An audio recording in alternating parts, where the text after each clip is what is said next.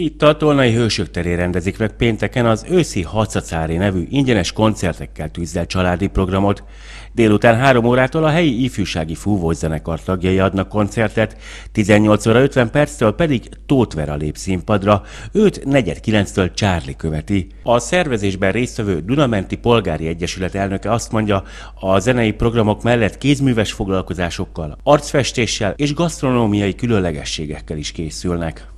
Készülünk street fooddal, szexádi borászok fognak jönni kiváló szép boraikkal, illetve a büfé választék is helyi vállalkozók által szélesebb, színesebb lesz, mint a korábbi rendezvényeszenken szokott lenni.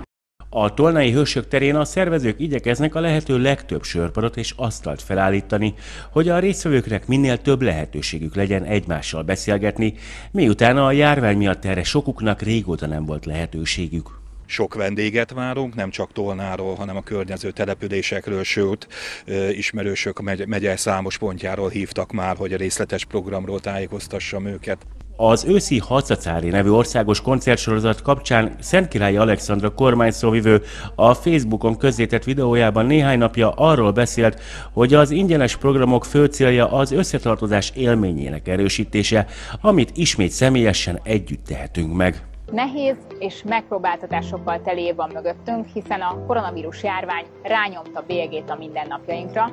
Ugye az elmúlt másfél évben sokszor elmaradtak a koncertek, a hagyományos fesztiválok, a kis közösségek tradicionális eseményei, a búcsúk vagy éppen a falunapok is.